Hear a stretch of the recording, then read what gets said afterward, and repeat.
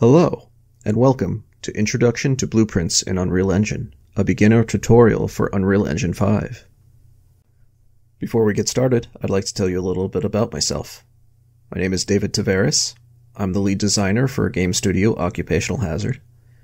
I'm a certified Unreal Engine 5 world builder. I'm a member of the Unreal Fellowship, and I have a background in RPGs, being both on the Gen Con staff and a longtime GM, DM, and storyteller for many games. By taking this tutorial, you will learn basics about what a blueprint is and how it works, common blueprint classes and their purpose, the anatomy of a blueprint, an example of a playable character blueprint. I'll give you an example of a widget blueprint. I will also give you an example of a blueprint prefab with construction scripts, and I will show you where you can learn more about blueprints. The target audience for this tutorial are complete beginners. However, this tutorial may also serve as a refresher for more experienced users. I will be using Unreal Engine version 5.1.1. I'll be doing this in Windows 11, and I'll be using the Content Examples project from the Samples tab of the Unreal Launcher. If you'd like to follow along exactly, uh, you can find these things in the Unreal Launcher and launch everything and set it up this way. If you would rather use slightly different versions, you may as well. The variation should be very minimal. You may follow along or simply watch this tutorial. If you would like to use the Content Examples project, click the Samples tab in the launcher. Look under Unreal Engine Feature Samples to find the content examples. I already have it purchased here, but you can purchase it for free it, the button should be here, but you should also create the project after you purchase it in the same tab here. And you'll find that in your library tab, and it will create a project for you, which you can then open and continue. Part 1 Basics. In this section, we will talk about what are blueprints, how do blueprints work, where can blueprints be found, and blueprint types. Let's get to the root of this tutorial and answer the question, what are blueprints? Blueprint visual scripting is based on using a node-based interface. Blueprints are used to define object-oriented classes in the engine. Blueprints allow for the full range of programming tools, and blueprints can extend C++ classes. This means that you can use visual scripting to have nodes and attach them to create various types of programs. Now, how do blueprints work? Visual scripting allows for creation of complex gameplay elements. Blueprints use nodes for objects, functions, and events. Nodes are connected by wires for complex interactions. A complete blueprint may implement behavior and functionality. Where can blueprints be found? Blueprints can be found on the blueprint list on the toolbar. You can also right-click in the content browser and select Blueprints. Content packs are also often full of pre-made blueprints. Blueprints are very commonly used in all Unreal Engine 5 projects. Let me show you. You may find blueprints on the toolbar up here. You can have a new empty blueprint class here, or you can open a specific blueprint class here as well. If you right click in the content browser, you'll see this blueprints right here. Uh, blueprint class can be found here. And content packs are chock full of blueprints. For instance, here's the character blueprint of Echo. There are many different blueprint types. There's the common level blueprint, which is mandatory since every map needs its own level blueprint. There are several common types of blueprints, which I will go over in a moment. And there are many specialized specific types of blueprints. In fact, uh, the last I checked, I saw 1,058 different types. Part 2 Common Blueprint Classes. There are some blueprint classes that are often used more than others. These include Actor, Pawn, Character, Player Controller, Game Mode Base, Actor Component, and Scene Component. Let's take a look at these classes and discover what they can do. Now back in the level, I'll show you the different types of blueprints, the common types of blueprints. You can either bring them up here on the top toolbar, new empty blueprint class pops up, this pick blueprint class setting, or you can right click and click blueprint class. These are the common types of blueprints. You have the actor. An actor is an object that can be placed in the world, like a tree or a chair, for example. You also have a pawn, which is a possessable actor that receives input from a controller. That could be literally a pawn, or it could be a character, but uh, they have a special class for that. A character is a type of pawn that includes the ability to walk around. That's very common in most games. There's also the player controller. Player controller is responsible for controlling a pawn that's used by a player. You can also see down here in the lower right, player controller class is set to the game mode. The game mode base class defines the game being played, its rules, scoring, and other facets of the gameplay. You have the actor component. An actor component is a reusable component that can be used, added, and added to any character. Something you could just attach to multiple characters. And the scene component. Similar, it could be a component that has a scene transform that could be attached to other scene components. Let's take a further look at these. Part 3 Anatomy of a Blueprint. In this section, we'll go over what's in a blueprint and what you can expect when you work with a blueprint. When you're in the blueprint, you can see the top navigation, toolbar, components, my blueprint, functions, macros, variables, event dispatchers, viewport, construction script, and event graph.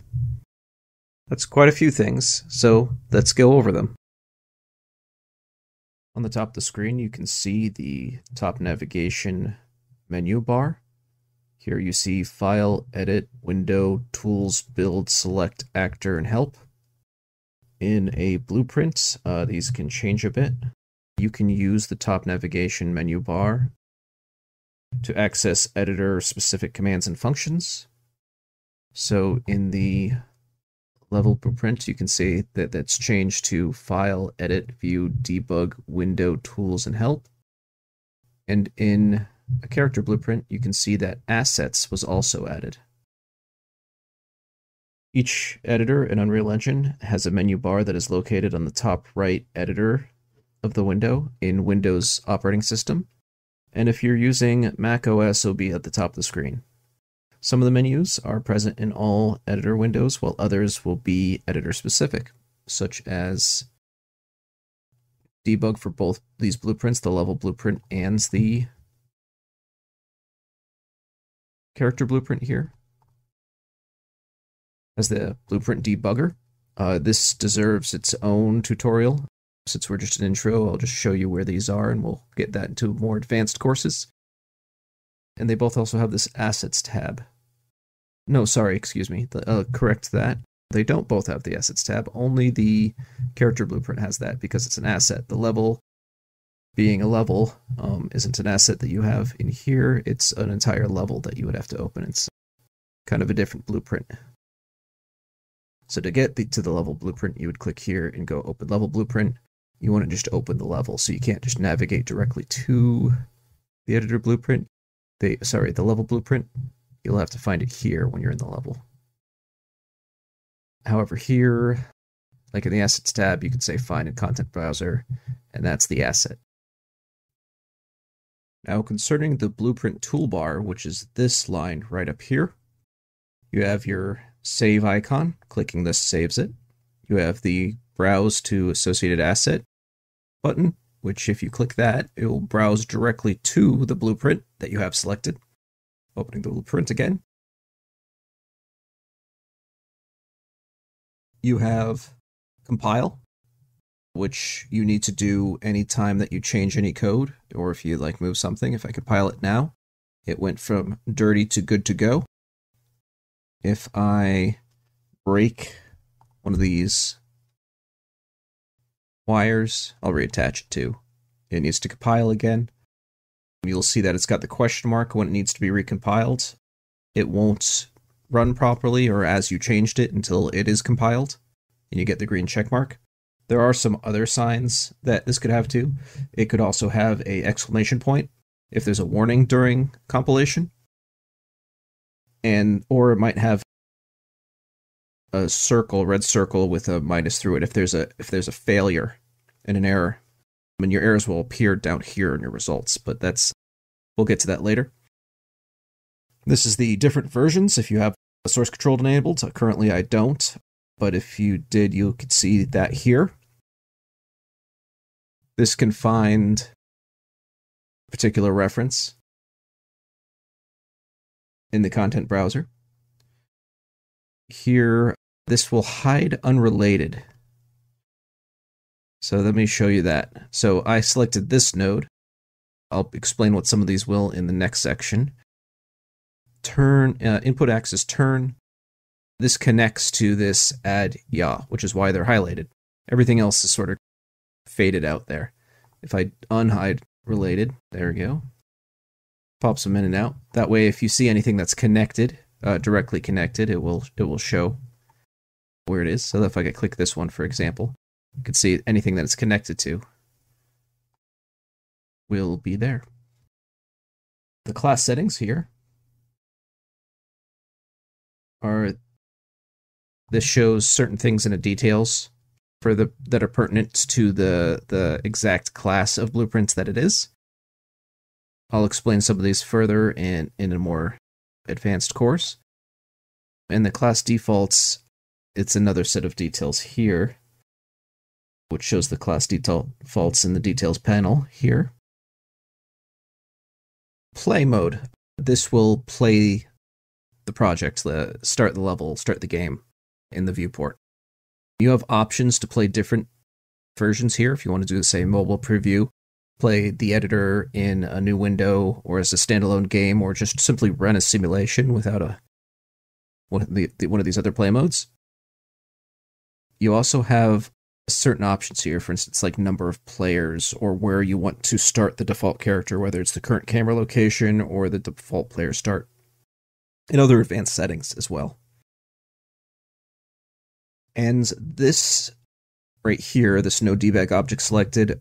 So if you had multiple instances of this blueprint, let's say it's a blueprint for a character and there's many characters in your level, this can uh, allows you so that if you are debugging actively, you can select different instances of it. So if there's like five different characters, this will have like five listed here, and you can choose which ones to see what they're doing and what their blueprint is doing at the time. And that's where you can find that. That's more of a advanced debugging feature there, which is real nice.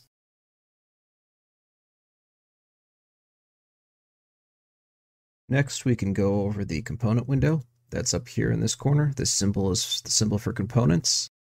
If you remember earlier, there was a blueprint type for actors and for scenes of components. So this would be actor components.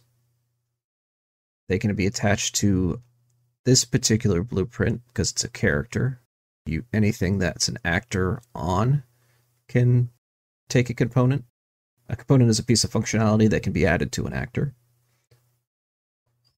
Other blueprints, such as pawns and characters, are based on actor, and therefore they inherit the ability to receive components.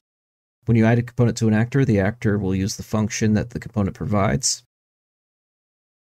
For example, this is character movement, uh, which is a very complex component uh, it's inherited from a C++ code, and it provides movement to a character. This includes factors you can see here on the right. This is the details panel for it. The mass of the character to calculate in this physics, gravity scale, the step height. So if it's if it's uh, got legs and can walk up steps, this is the the height that it'll do within the engine. Character's basic basic movement, jump velocity, all kinds of stuff. Swimming speed, flying speed, if you want to enable those types of functionality for the character. And that's all baked into this singular component. There are other types of components here, for example, camera. That's something that you can understand pretty simply when you play a game. There's a camera view which you're looking through, whether it's a first person camera view through the eyes of the character or a third person where you're above the character, for example um, or just as a, a floating camera, just watching a scene, for example.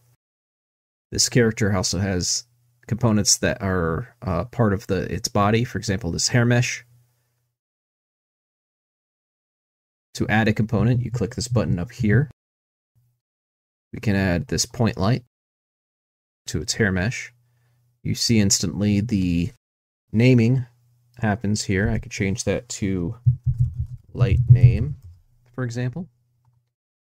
Now I can click it again to change it again, light name 1. Another way to rename it is to right click, rename. You can also duplicate, cut copy, add events, find references to this component. Or if you want to see the C++ code here, you can also delete it. Now it's gone. Components can also be added in the browser here. You can click and drag to the blueprint and add it. You can also undo adding that component up here. Components are a very useful and powerful tool.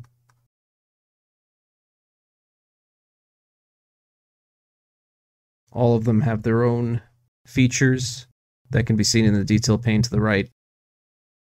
For instance, transform, that's where they're located. Let's move on to the next part down here. Now let's talk about this section called My Blueprint. This tab over here has many various things in here, uh, but if you can divide them up into two larger categories, it would be graphs and variables. There are many types of graphs. The most common type is the event graph, but you can also find the construction script, functions, and macros. This is what a graph looks like. You can see it's segmented kind of like graph paper. You will see nodes in it, or you could put nodes in it, and you can connect them with these wires to other nodes to basically do a functionality. For example, this one says right mouse button, and the connector connector here says check trace. So this is a function that's called so when you hit right, right mouse button, this will happen. And this is in the event graph. The event graph happens in play mode. Now there's another type of graph called the construction script.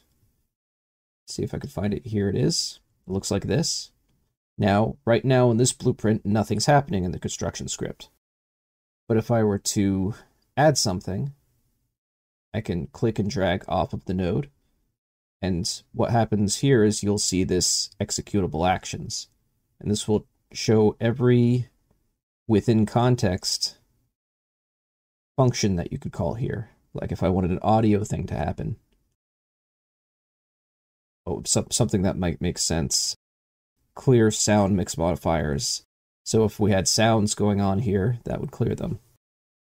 I'll delete that because we don't need to do that, but whatever we need to do can happen here.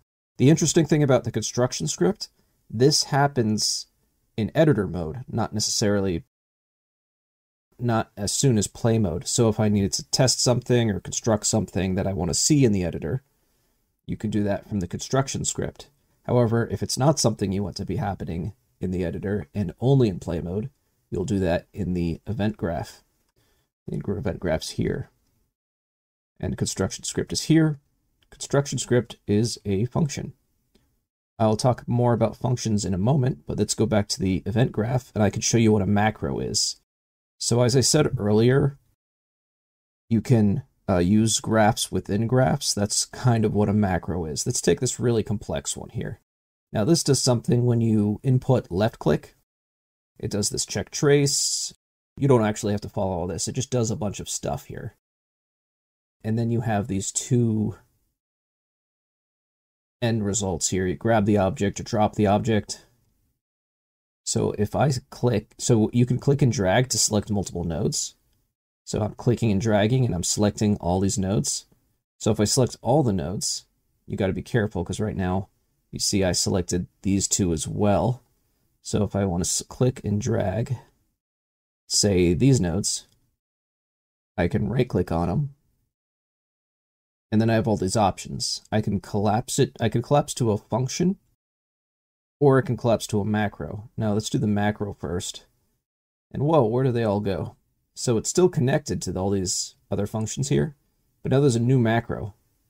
I could rename it if I wanted to. You can see that it's down here in the corner. I can double click on it to go into it. And all those nodes, that's where they went. So in a macro, there's an input.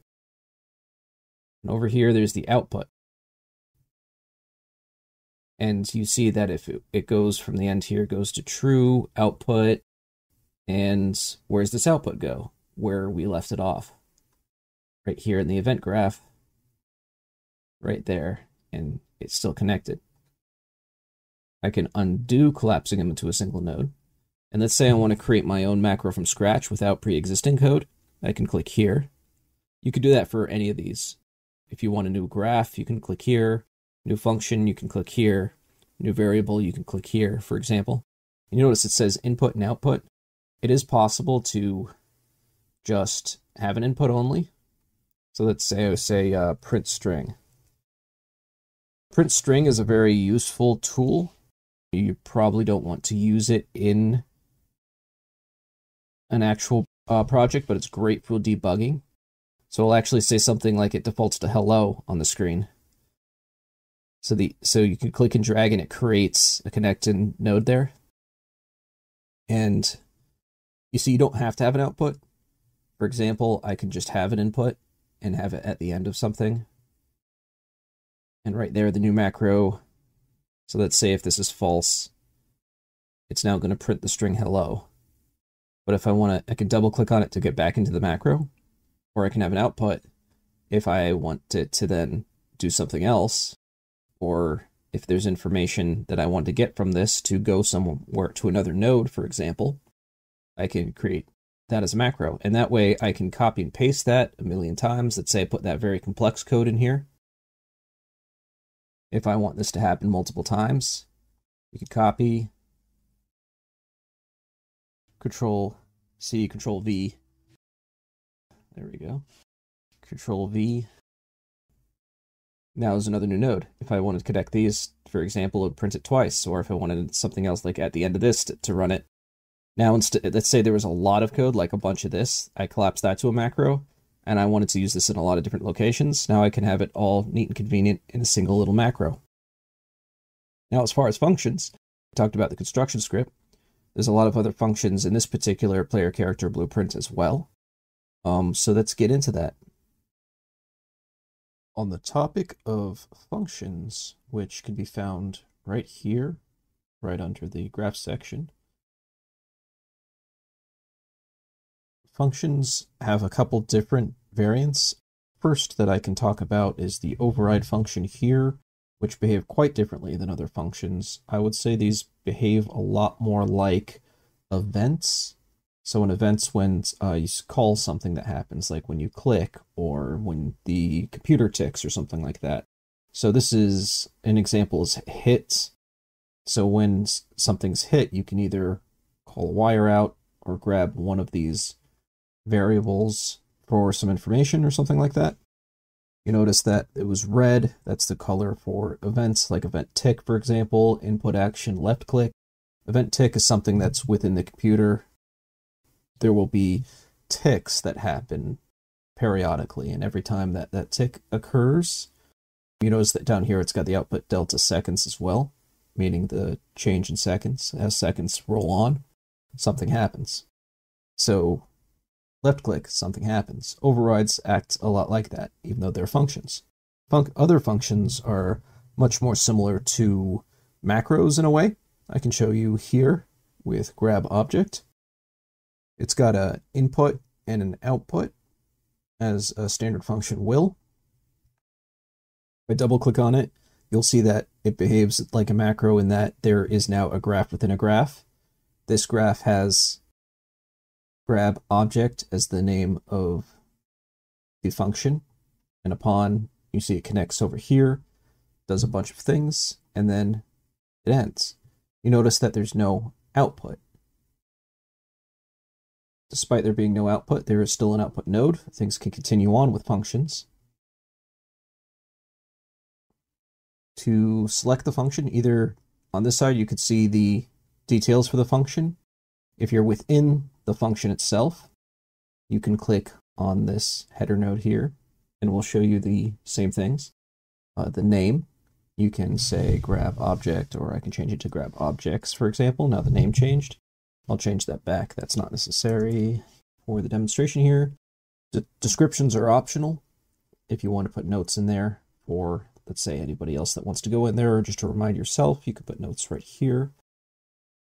Categories can be maintained here. Either you can type in your own category, or the drop down shows other categories. Uh, that's also optional depending on your organizational style. That's a good place to do that if you want to put certain functions in certain areas. Keywords can also be referenced. So if you wanted to make sure that this is a, say it's a grab object, so maybe anything that has to do with object actions, you can type that in there. However you want to organize it. Access specifiers are interesting. There's three different versions public, protected, and private. Public is a setting of public means that any object, other objects can call this function. This is the default setting, so whenever you create a function, it's going to be public. Protected is a setting that means that the function can only be called by the current blueprint, as well as any blueprint that derives from the current blueprint. So if it, if it directly derives from this blueprint, uh, protected can access it. However, if it doesn't, then it is it won't be able to access it, kind of like private. Private's a setting which means the function can only be called within the blueprint. So if you don't want anything else touching this particular action, unless this blueprint is called, you select private. Protected is if there's some select other ones you want to have uh, uh, access the function. And public is if you know you don't you don't care if anything accesses it. Uh, honestly, I use public like over 90% of the time. I don't have any reasons to exclude functions because if I don't want to use it, I just don't call it. And there are a couple other functions down here. There's pure, and right now pure defaults to off. Pure changes how the function works in general. So right now it's easier to see from here, I believe.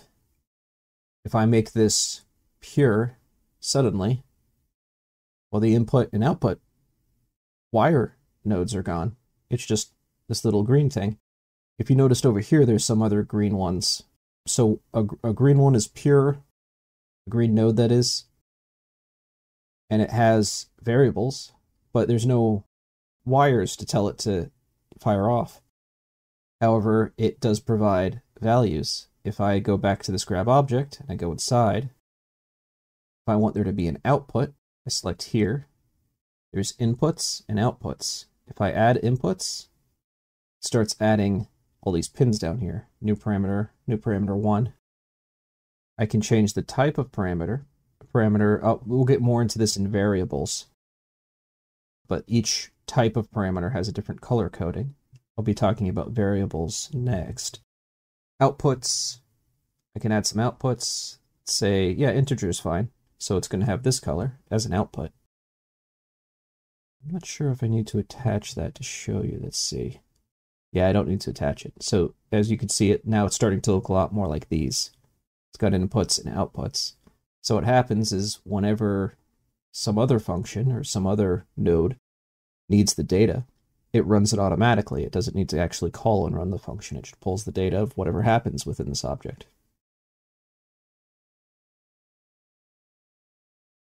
construction script is also under functions. As I said before, the construction script runs in the editor and is great for when you're trying to create a level. You can run things in construction script and it will show up right away. Next, let's move on to variables.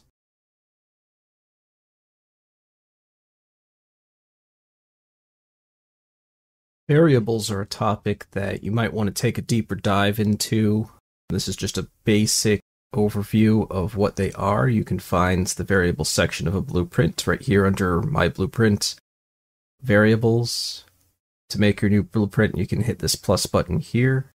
A variable is a place it's a placeholder for a value or reference that you could call to interact with other code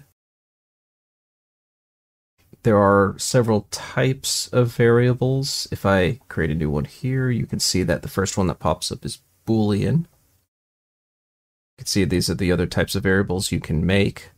a boolean is a true or false value. It is color coded with this maroon, sort of a reddish color.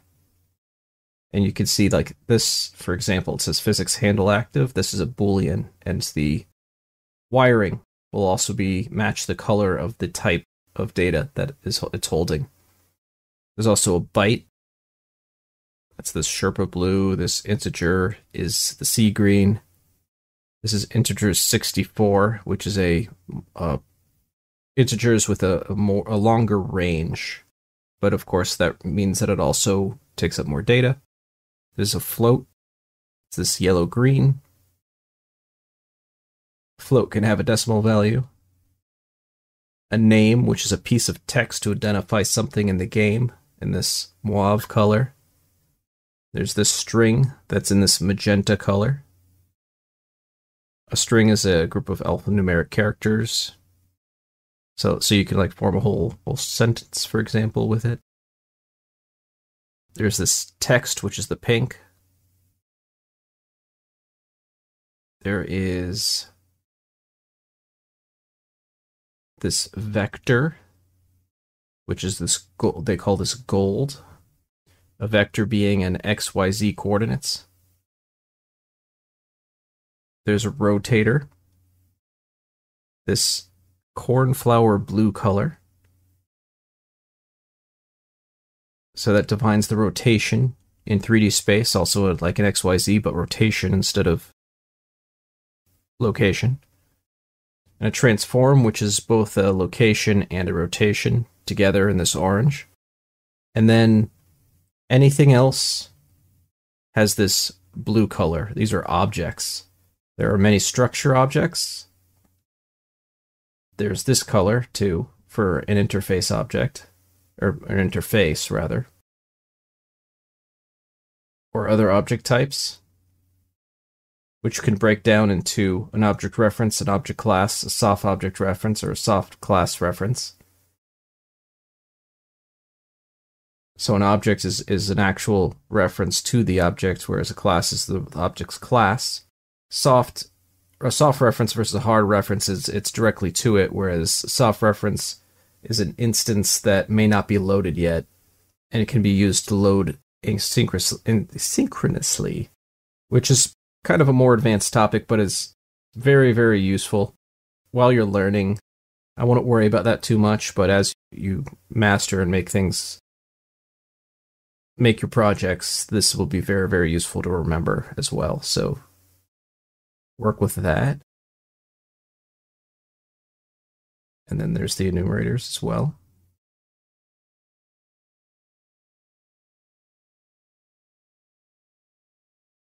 So there's another way to create a variable when a node will have values like this one says reference self. You see it's this this blue, so it's a self it's an object reference.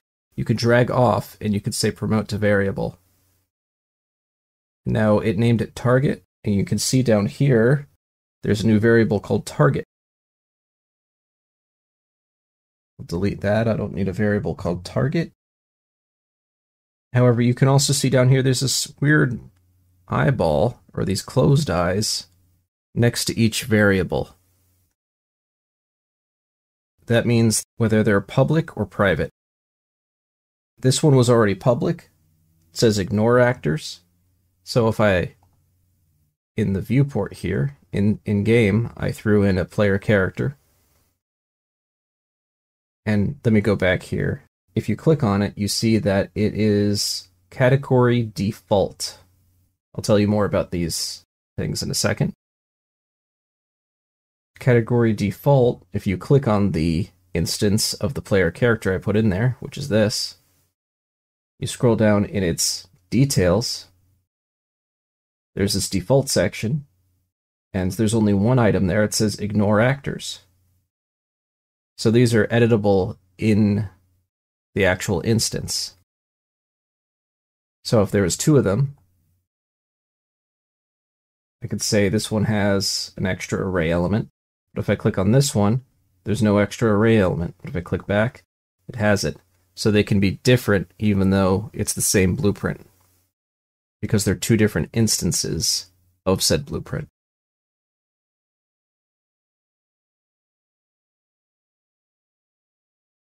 And if I add public variable for this one, the new variable, I should see, oh, I would probably have to compile it first. I can now see that the new variable, the boolean, can be true or false. Now that doesn't do anything yet because I didn't hook it up to anything, but it's there and it's instance editable because of the I. Let's talk more about these features here. You can also make it private and public here. If you notice,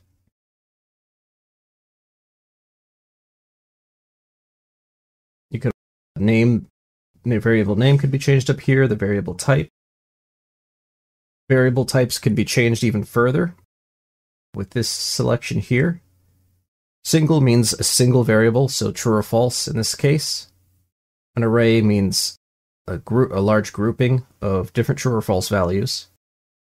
A set is a set order of multiple values, and a map is one variable matching two other variables. So that, that could make it more complex. So right now a boolean can't be a map, that's why it's grayed out.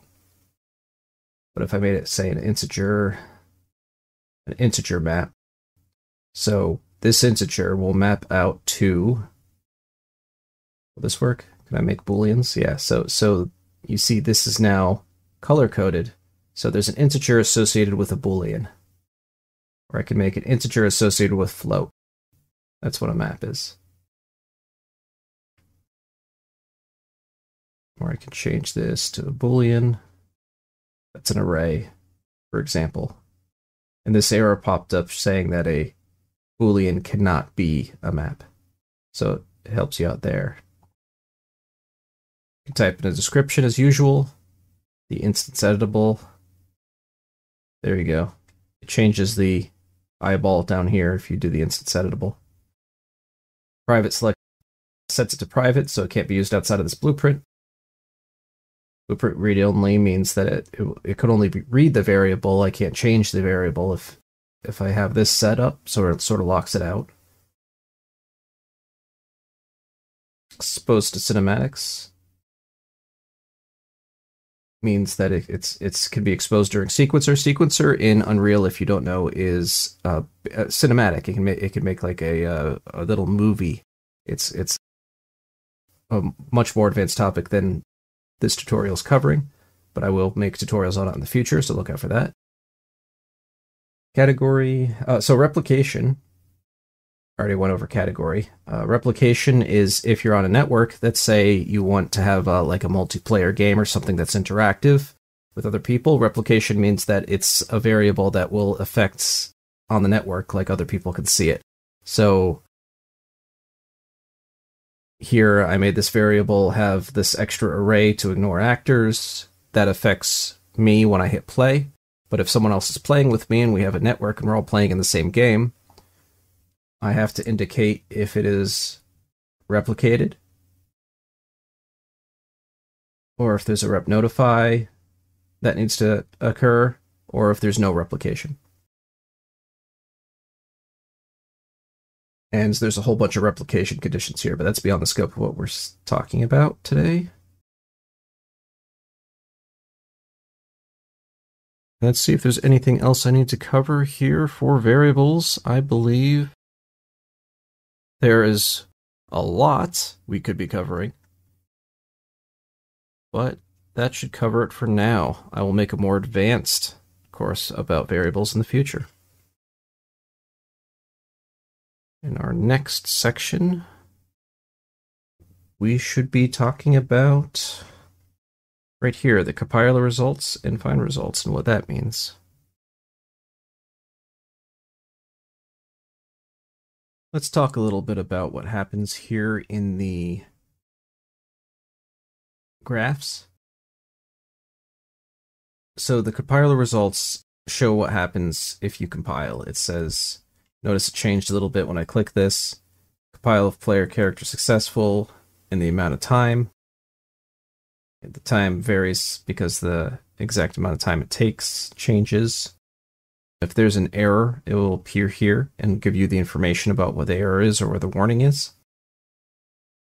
Another thing you can do is this find results. Any of these tabs, if you are missing them, as an aside, in window here, it shows you all the different tabs. For example, I'll uncheck, I'll close that.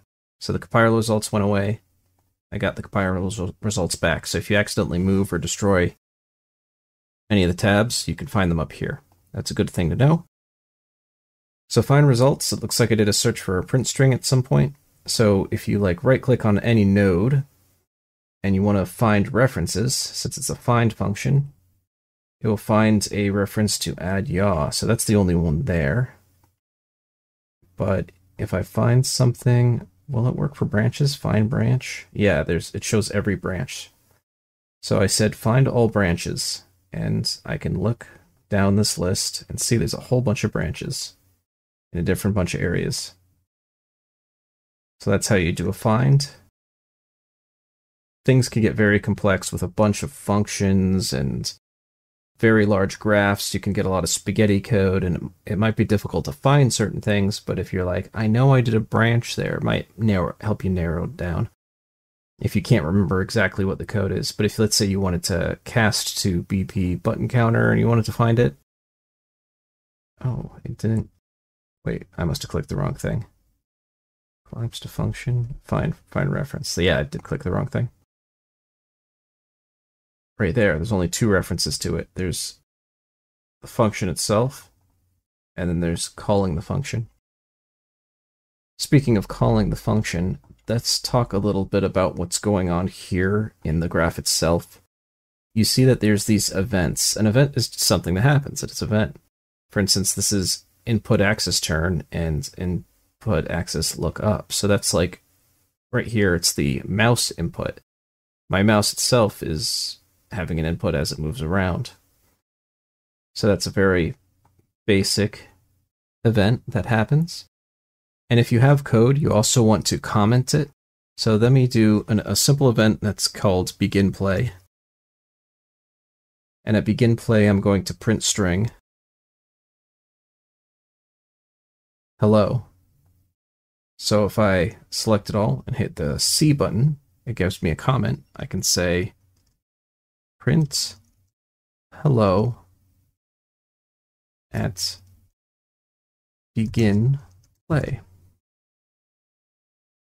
So it's good standard practice to comment out all of your code. Now, obviously, printing hello at begin play is not that incredibly useful, but this is a prime example of what you can do blueprint. There's one more feature that I did not mention earlier under my blueprint here. This last one called Event Dispatchers. This is actually a really powerful tool, Event Dispatchers. Now, if you pull it out, you're going to see these different options. You don't get these options when you pull out, say, a variable. You get get or set. For variable, you can get the variable, whatever the number is, or whatever the variable is.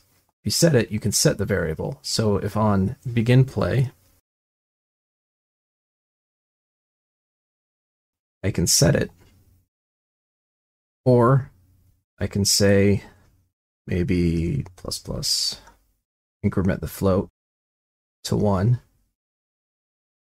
So what happens here, I take the current number, of the handle distance. I add one to it and set it so now it's one higher. I don't know what use that would be, but that's basically what you just did there. So I commented out. Nonsense.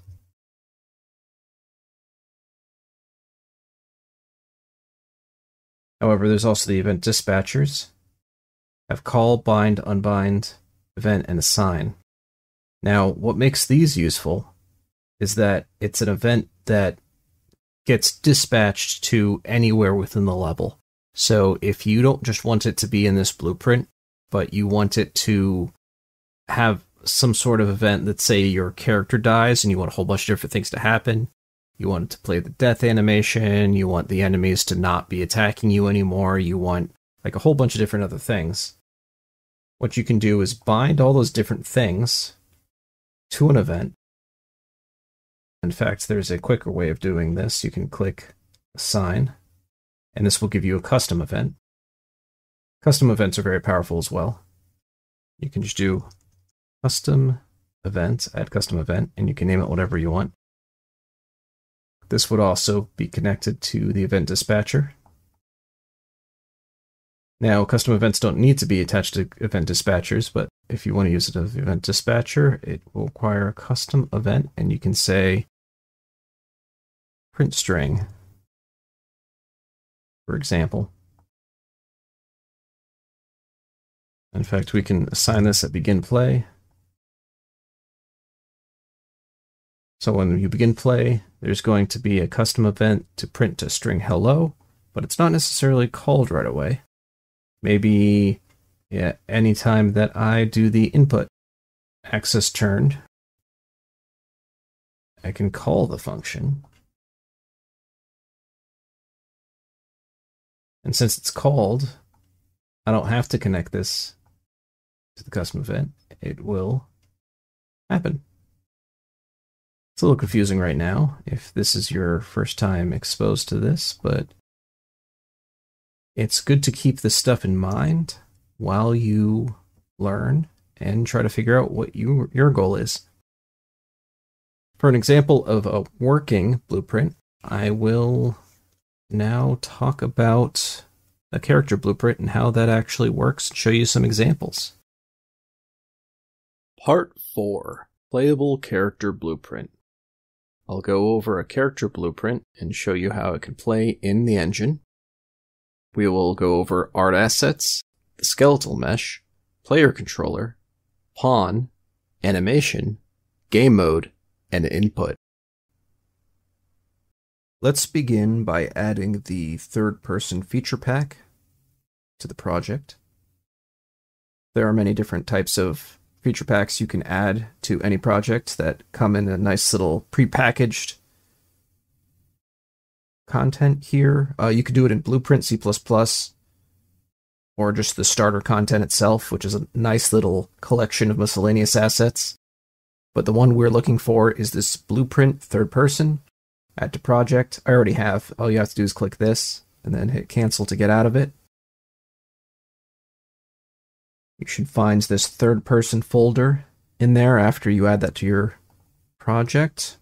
And here's the third person character. Now, this project doesn't start with the third person character here. It starts with the player character, I believe. So go over to next to details, there's this world settings. Select game mode, default pawn class you're going to want to do blueprint third person. Actually, you know what? Change the whole thing to third person game mode, and that puts all the settings from the third person game mode in here. That way, if you hit play, you can see that there is now a third person character. This is Quinn. She's the better half of the pair Manny and Quinn doing the male and female representation of the mannequin body forms. So if I hit escape, it gets me out of play mode. And to go to the blueprint, just double click on the blueprint itself. And you can see there's the tab for viewport, construction script, and event graph. We've already talked about construction event script and event graph.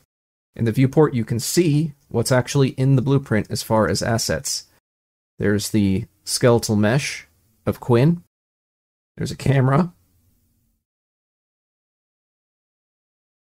You can see here that if you click the root item, you can see a lot of the assets that are within it, including the skeletal mesh assets, the animation class, and a lot of the other features, even the camera, other meshes. So you can swap things out. For example, Quinn here, she has her own animation blueprint. We can navigate to that, you just click the button next to it to navigate to. This button is to replace it. But let's just navigate to it. You'll see that Manny's got an animation blueprint and Quinn's got an animation blueprint. Now, this is a whole nother can of worms that we'll get to in a more advanced course about what animation blueprints do, but it is in fact a blueprint. And it shows the whole animation set. So, for example, running around, jumping, landing, idle, those are all animations in the animation blueprint. Now, Manny and Quinn both share a lot of the same animations. They are, in fact, compatible. If you were to add a mesh that wasn't compatible, for example, the starfish, very interesting starfish, you'll see that there's no running or jumping animations, no idle animation. Now it does turn. In fact, it doesn't turn very well, but it does turn. You'll notice here,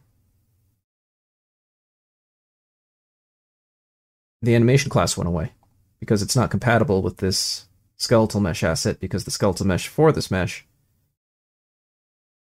doesn't quite work out. But if I go back to Manny, and if I use the Quinn animation blueprint, it works for him. It's compatible. Now you've got Manny instead of Quinn. Doing the same animations. Hit escape again. Let's go back to Quinn, since these are her animations. Simple Quinn. Easy enough. Now, if you had animations for the starfish, you can put that in. You see there's also like a tentacle here Lots of interesting things in this pack. This is all from the sample content, not from the third person. Third person only has Manny and Quinn in it. You can undo adding the content, and then it'll bring it back.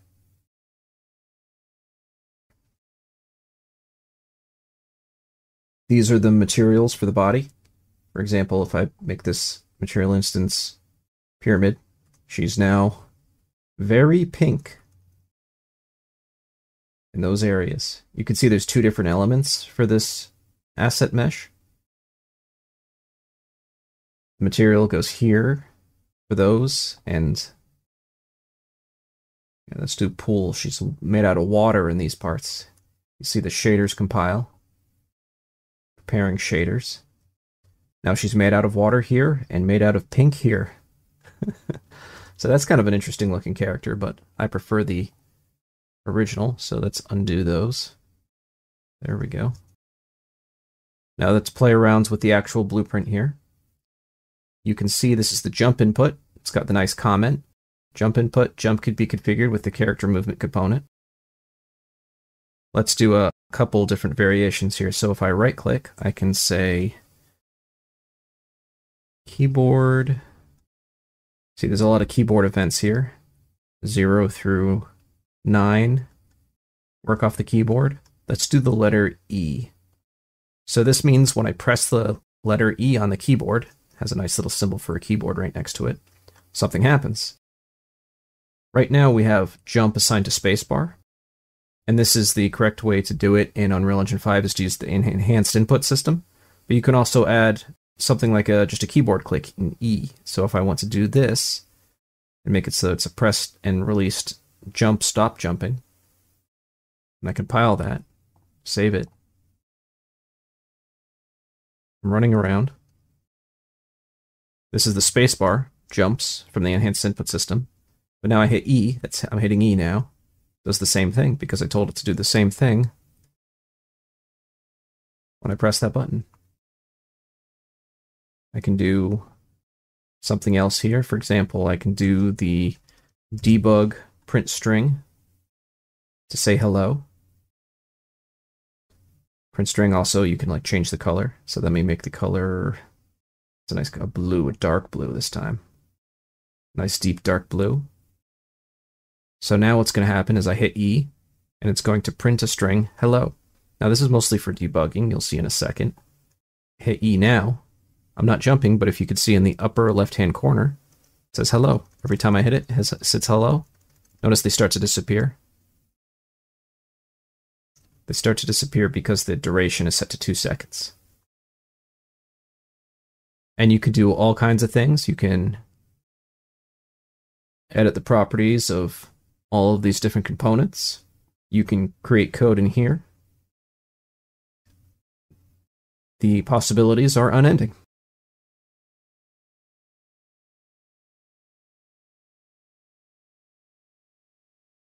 Now let's say you want to, instead of using this as a character, this character blueprint, let's say you want to use it as a pawn.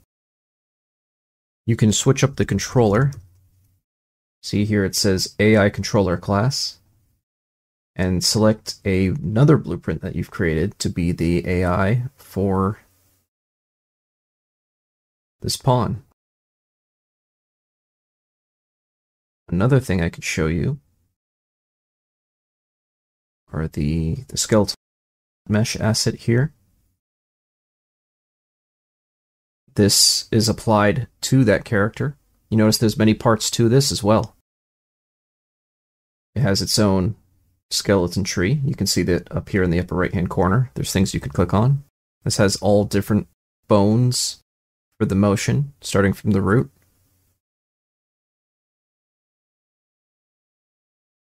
As the skeletal mesh components. It's got it's associated to an animation here. This is just one animation of it, the falling after the jump, or even falling off a ledge. It has runs this animation, and this is the full animation blueprint for connecting all the different types of animations through all the different inputs. So this is something that's more advanced, and I'll go over this in a future course. Now let's talk a little bit about widget blueprints. That's the the HUD or the UI that you might see in a game. Part 5 Widget Blueprint Unreal Motion Graphics. In this section, we will go over the widget's menu bar, toolbar, editor mode, palette, the hierarchy, the visual designer, details panel, and widget animations. Widget blueprints allow you to create what's known as the Unreal Motion Graphics type of blueprint. It's anything that will have a graphic on your screen. So it could be like the UI HUD, like if you want to see like a mini map or like whatever hit points you have, or if you just simply have a menu that you want to have like selecting for game settings or just information like tutorial information, just anything with words on it. Let's see, a picture's worth a thousand words, so let me show you. I have this widget text come in there, and then I spin up a Unreal Engine logo with some fancy animations. Now how I did that, I'll hit escape here, is in my third person character, I added a widget. This is a widget I created called UMG widget sample. I added it to my viewport so it can be seen by the character and thus the player. And then I took an animation that was in the blueprint and I played the animation using this node off of the widget. But how did I do this? I created some widgets in this widgets folder. Go to user interface, widget blueprint. You can create one. I created two here. The first one I created was this UMG widget image. You can see that here. I simply added an image of the Unreal 5 logo. And then what I did is I added that widget, widget image, UMG widget image. It's the same name, UMG widget image. If I type in here, UMG widget image, that's one I created. Up here in the palette, you'll see there's all types of pre-made widgets that are in Unreal Engine. However, as I just showed you, you can create your own. And they will appear here in the palette. There's also toolbar, just like there is with other blueprints. It's very similar.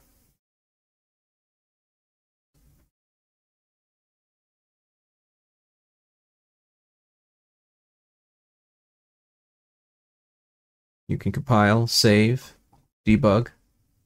There's this unique thing called a widget reflector. This helps you diagnose problems with live widgets.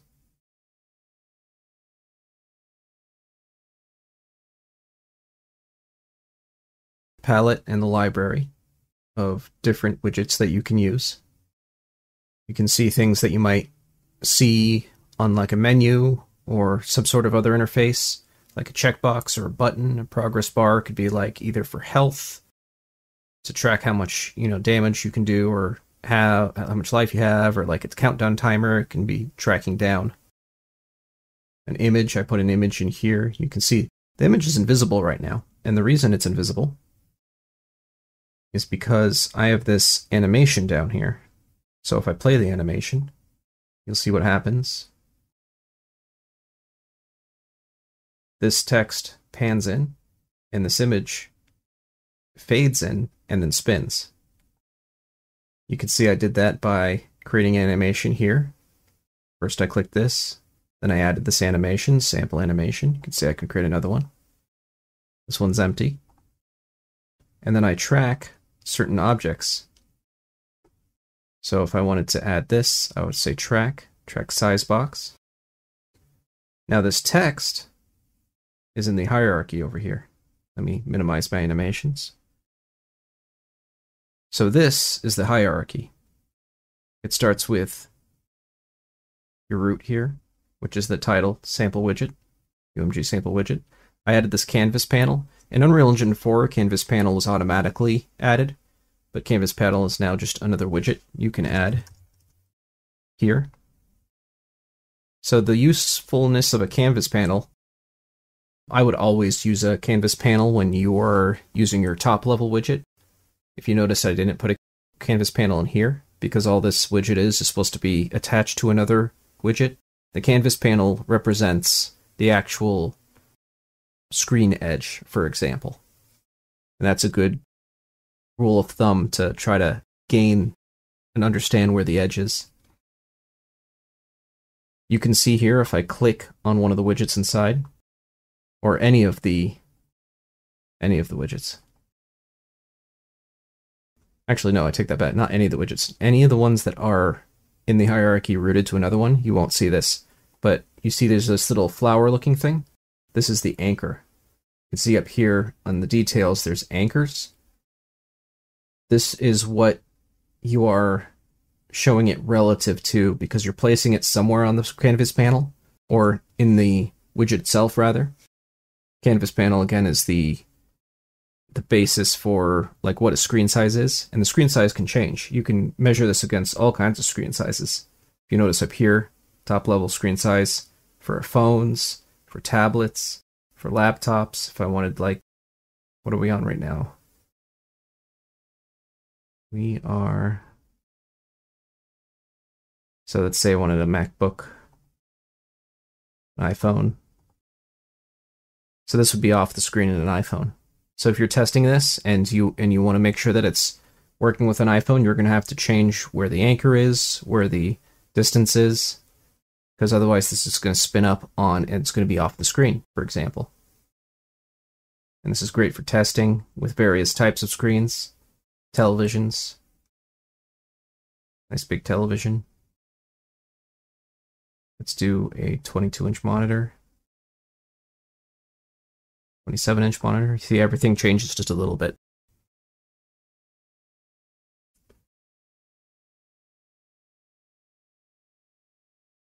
This area is known as the Visual Designer.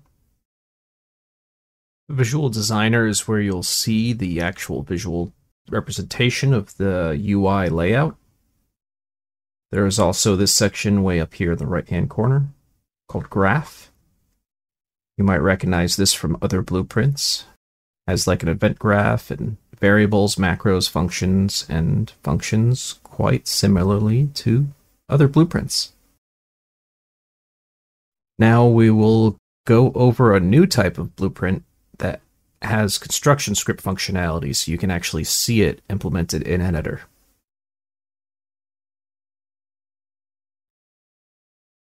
Part 6 Blueprint Prefabs with Construction Scripts. I'll now demonstrate the power of the construction script. I will show you a blueprint that creates a building that can expand based on needs. Other uses of blueprint prefabs with construction scripts include props for environments, automatic update for lights, scattering foliage, adjustable buildings in greater extent than I'm going to show you today, weather effects, and other advanced reasons. The construction script is a type of graph within Blueprint classes that executes when the actor is placed or updated in the editor, but not during gameplay. It is useful for creating easily customizable props that allow environment artists to work faster. An example of this is the Blueprint demo room within the samples content project. What is the demo room? Well, it's the room pretty much every demo's in. You click the wall here, you can see that it's blueprint demo room. If I edit the blueprint, you'll see this wonderfully complex set of functions and blueprints. You know, in the viewport, it shows you the actual room. Notice there's only one chamber in the initial one. However, in the construction script, it says to flush persistent debug lines. That's a debug development only thing. But then it redraws. What does redraw do? If you double click on that node, it pulls up that function. Redraw is to create an instance and start creating walls for each room, create end wall, and all these other functions. So it basically is a little bit of code that tells it to build the room. But why do we do this? Why did the creator of this room design it this way? Why is it so complex when you could have just placed these assets into the viewport? Well, now that I have an instance of this room, you can see here in its details these different variables. An example is draw end wall. It's checked. Draw start wall. It's checked, so they're both there, an end and a start wall. What happens if I uncheck it? Did you see that? The end wall's disappeared. It no longer is drawn. But I'm not in play mode. It's not an effect in game, it's an effect in the editor. So it creates it based on whether or not that's checked. So if I did play with this not in there, it would have never drawn it in the first place, and thus it has a building without a wall. You can take away the start wall, can add them both back. Right now it only has one room. The way that it was programmed in here, we won't get into specifics, but just to see how powerful this tool is, you can just start adding rooms. Look at this hallway. I can keep on clicking, and I can get hundreds of rooms. Some of the sample projects have many rooms. This particular one only had one. Now it has many. With a project such as this, you and this type of blueprint, you can create all kinds of things that you can put in your level, and they'll be adjustable. For instance, different buildings for a city. You can adjust each one, number of floors, how wide it is, what type of rooftop it has, what it's made out of. You can do weather effects, you can do all kinds of things. Let your imagine run wild. But this is a powerful tool which is difficult to create, but once it's made, it makes the whole process much faster.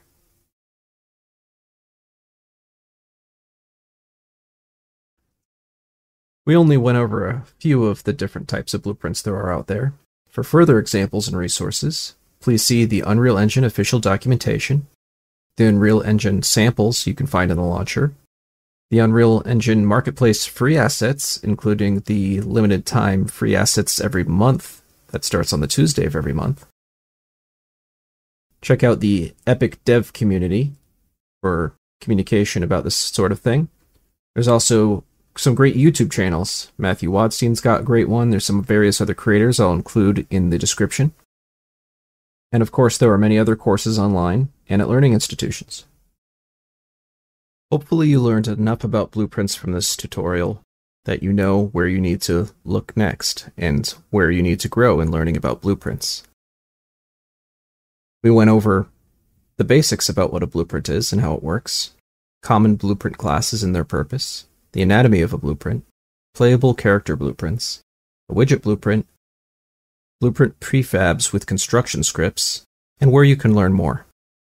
Thank you for taking this course and happy learning.